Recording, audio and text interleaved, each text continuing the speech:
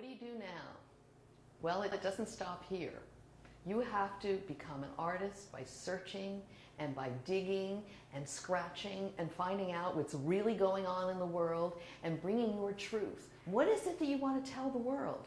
You've got to find out how to do that in a clear, succinct, dimensional way.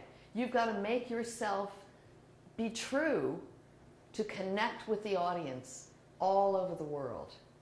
And to do that, you have to find your craft. And this is a start, but don't stop here.